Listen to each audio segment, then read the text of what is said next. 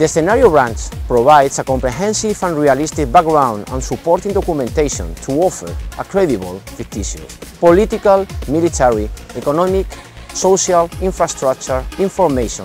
and geospatial environment for a geostrategic political military crisis in which NATO can exercise its command and force structure. The scenario team, with their experience, professionalism, dedication and work, can provide NATO units the opportunity to train as you fight in a fictitious world with real accomplished challenges.